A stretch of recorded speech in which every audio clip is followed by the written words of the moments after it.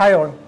There are a lot of controversies happening on the limited contract, unlimited contract. Some people don't know application of the contracts, the UAE labor laws, and people are getting scared that they are getting labor ban, how to remove these things. So today with us, Mr. Tarek Ahmed, he's government relations officer. So he'll be with us for getting the details of inquiries. So I welcome Mr. Tarek on board of- with RightVows.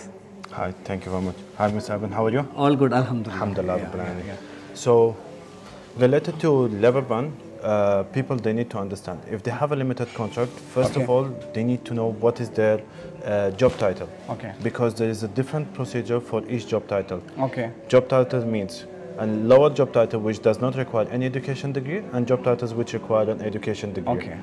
If the, uh, the employee has a higher job title, in this case, if the- Higher job title means like manager or something? It's not supposed to be as a manager. It can be any job title that requires an education degree. It can be receptionist. It can be supervisor. means a bachelor's degree? Yeah, Okay. a high school degree. High school degree? Yes. Okay. Um, if they, uh, the company has put in a labor ban on them, Hmm. they supposed to be any reason, a specific reason for that. Okay. What will be the normal reasons for putting a labor ban? Uh, it can be any reason. One of them is the company wants to do it because they were not satisfied that uh, the employee resigned Okay. and they wanted to keep him. However, uh, there were a miscommunication.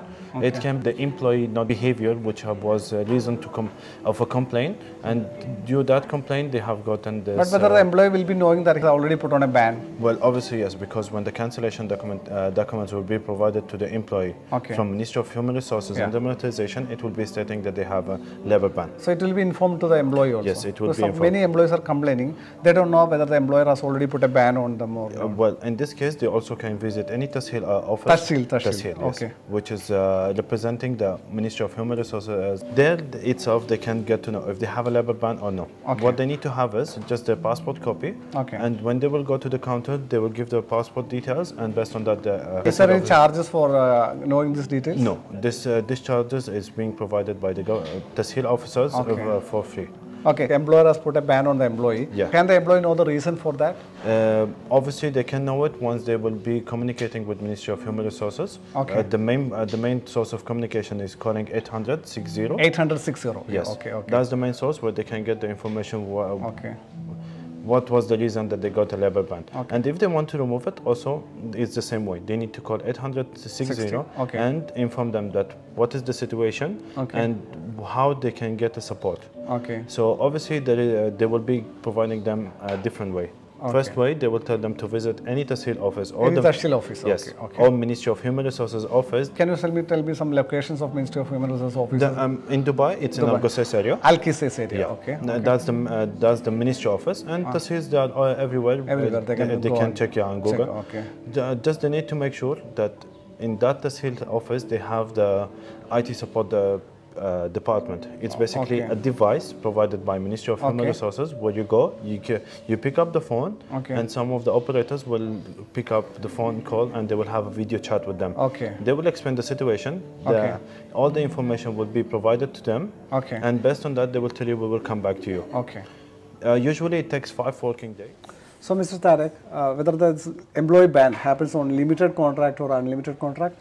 Usually it happens with the limited contract. Limited contract, okay. However, there is a possibility also to happen for the employees who has an unlimited contract. Okay. Uh, when they have the point on, which is called 127. 127. Yes. Okay. When they are at this point into the contract, it's Okay. being stating that the employee cannot work with uh, any different company that having uh, it has the same what they call it activity, Okay. same as their company. Okay. And it's being mentioned on which Emirates and for what's the duration for. Okay. But normally what happens, now people sign on the last page of the contract Mm-hmm. and they don't get the access for the contract. So how will they know there's a specific uh, clause mentioned on the contract? Well, that's the uh, that's a good question actually. So what they need to do is on the last page, or basically in all the contract, there is on the left side there is always a big number which is starting with either ST or MB. With- okay. well, they need to have a copy of that number. Obviously, on the last page, it's being mentioned. Okay. When they go to any Tasheel center, Tasheel center they yes, have to go, yeah. they can request to have the full um, uh, offer copy or the uh, Full employment contract. Do, do they have to pay for that contract? Usually, no. No. Uh, But it depends. The sales center, some of Tasheel them, centers, they can go and get the contract Yes. without the company's information. They can get the contract. Yes, exactly. Because that ST or MB, it Okay. comes out with a stating what is the um, the full contract details. Okay, so this is a important information for you. If you are not having an employment contract with you, just go to any Tasheel center, give your details, they'll give you the employment contract. From that contract, you will be able to understand your contract is a limited contract or unlimited contract or any specific clause which has been mentioned by the employer which makes you put a ban on you. Okay, that's clear.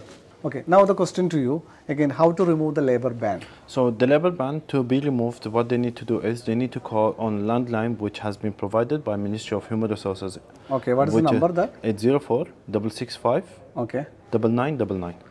0466599999. This is the landline number. I think one more number is 800 It's 860. 860. Yeah. So if anybody will not be able to catch this uh, landline number, they can call 860. Okay. And when the, uh, the operator obviously will be uh, giving them the same number. Okay. When they contact to the to that number, they need to inform them what is the problem that they are facing. Okay. Obviously, the person, uh, the per- concerned person who will be answering their phone, he will give them a specific question. They need to have the answer of that question, and based on that, the next step will be taken. It's either will be arranged a meeting with them or Okay. a phone call stating about the entire information, and after that, they will confirm to them what will be the next step. Okay. It's um, it's a little bit a long process because yeah, in UAE, uh, what do you call it? The process takes some time. Sometime. Okay. Yes, th- that's understandable. Okay. However, however, that's the only process they can go through to remove the labor ban. Okay. And people need to know that it's not always uh, possible to remove the labor ban, Okay.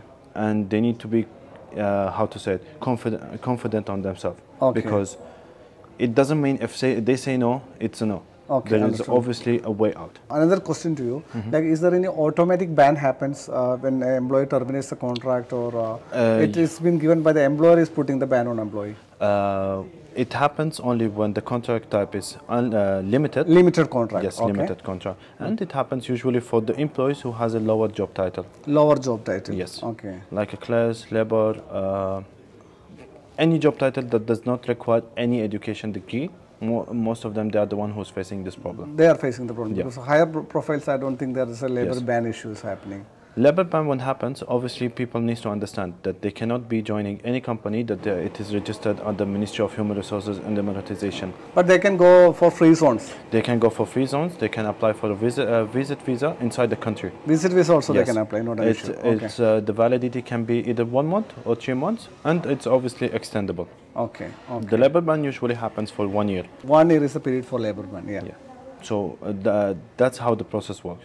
So as I said earlier, there isn't always a plan B for any situation that when you get stuck. So I think uh, Mr. Tariq is always with RightVows for a plan B. If you have any uh, doubts or clarifications for labor related issues, labor ban, please don't hesitate to contact us. We are here to support you. Sure. And I thank you from bottom Thank you of to my heart Mr. for, Rabin. Yeah, It's a pleasure for me. it's a pleasure for us also. So thank you. Thank you.